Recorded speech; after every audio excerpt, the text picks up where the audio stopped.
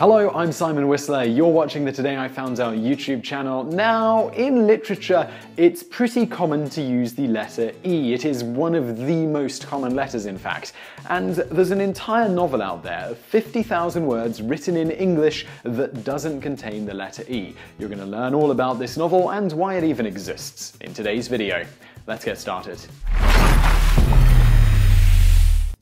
Gadsby Ernest Vincent Wright's 1939 novel Gadsby is over 50,000 words long. There is nothing remarkable about that. What makes this novel noteworthy is that it doesn't contain a single letter E anywhere other than the cover. Given that E is the most commonly used letter in English, you might think that this would have been impossible, but Wright stated that this wasn't nearly as limiting as one might think. For instance, about half of the 500 most commonly used words in English were still available to him to use. That's not to say it was easy. Among the more difficult aspects of writing such a work, Wright had to avoid all ed endings, as well as the word the. Beyond that, he had to come up with clever, non awkward ways to refer to certain things, such as a turkey, which he called a Thanksgiving national bird, and wedding cake, which was changed to an astonishing loaf of culinary art.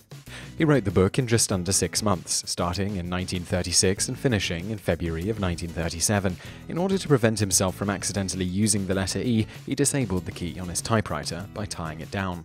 As to his motivation for writing Gadsby, he first thought to try writing a book without the letter E after learning that the letter E supposedly occurs in books and other writings on average about five times more than any other letter in English.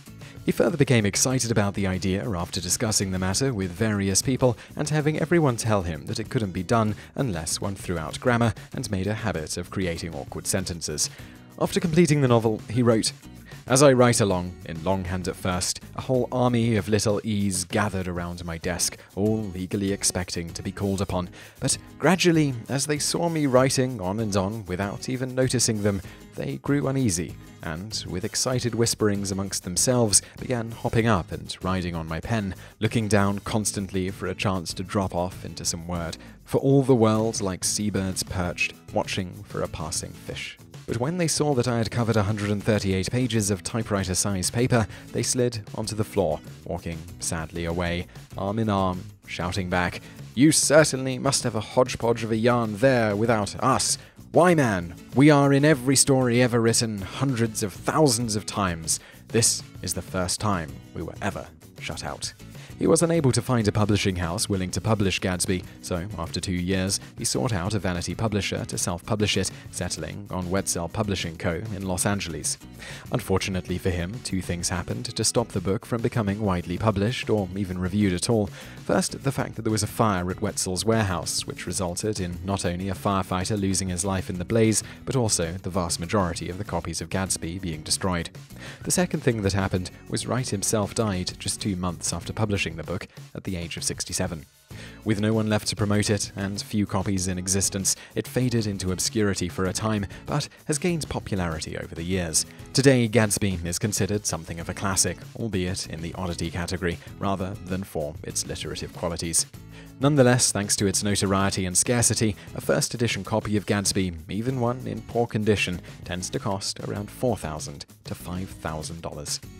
Bonus facts Gadsby wasn't the only classic not to be appreciated in its time. Moby Dick only sold 3,000 copies over a 40 year span during the author, Herman Melville's lifetime, making Melville only $556.37. Also, it was largely overlooked critically.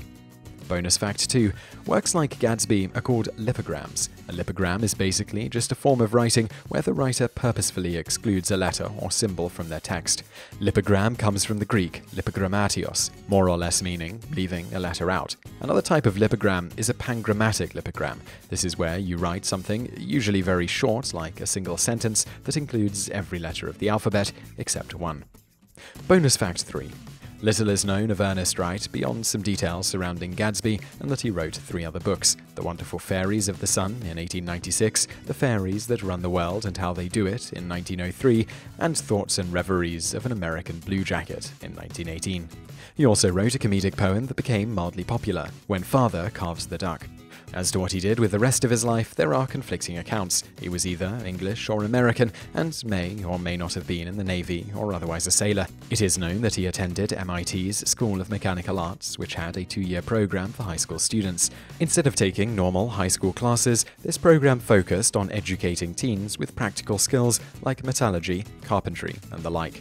It isn't known whether he graduated though, because they listed him as a special student in his second year, and no direct record of him graduating exists. Bonus fact 4. Georges Perec published a 250 page book, La Disparition, in French, which also didn't contain the letter E. This book was later translated to English. The English translation conformed to the same restriction as the French version, lacking any instance of the letter E.